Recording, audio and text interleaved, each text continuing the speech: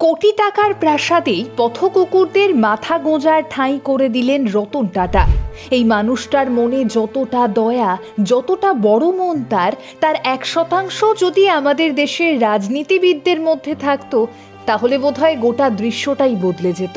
হ্যাঁ এবার থেকে স্যার রতন টাটার নির্দেশে পথকুকুরদের জন্যে সবসময় খোলা তাজ হোটেলের দরজা। সম্প্রতি সোশ্যাল মিডিয়ায় ভাইরাল একটি পোস্ট। তাজ হোটেলে এসে এক ব্যক্তি তার অভিজ্ঞতা ভাগ করে নেন সমাজ মাধ্যমে।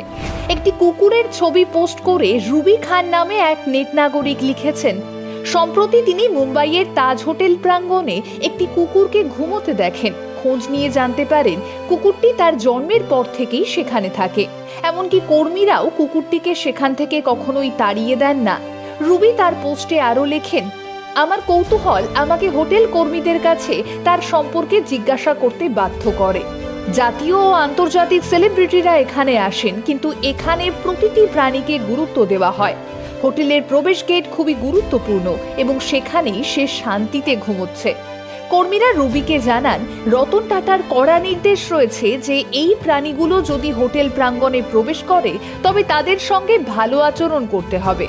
আর এই কথা শোনার পর পুরো ঘটনাটাই সোশ্যাল মিডিয়ায় তুলে ধরেন রুবি। শোনা যায়, সেই কুকুরটি জন্মের পর থেকেই সেখানে রয়েছে এবং আজ অবধি তার জন্য কখনোই কোনো সমস্যায় পড়তে হয়নি হোটেল কর্মী বা হোটেলে আসা ক্লায়েন্টদের।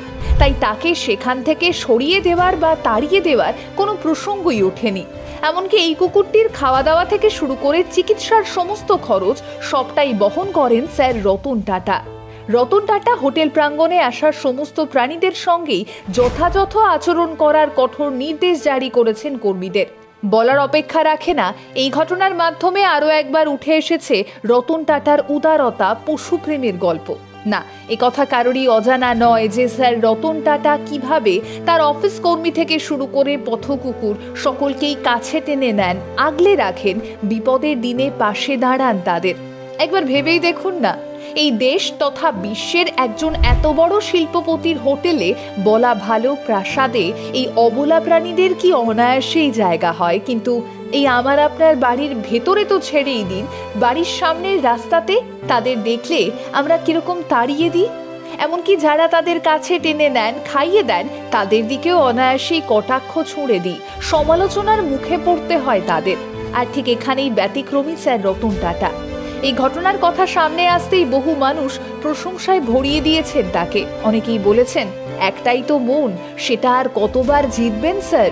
সত্যিই তো, ভারতের সবচেয়ে বড় বিলাসবহুল হোটেলে যদি এই অবলা জীবদের থাকার জায়গা হয়, তবে আমার আপনার বাড়িতে বা বাড়ির আশেপাশে তাদের জায়গা হয় না কেন বলতে পারেন? দ্য বং অ্যান্ড টোল্ডের অনুরোধ একটাই, হতেই পারে এই অবলা জীবদের আপনার বড্ড বেশি অপছন্দ। তাদের উপকার নাই বা করলেন কিন্তু দয়া করে তাদের ক্ষতি করবেন না।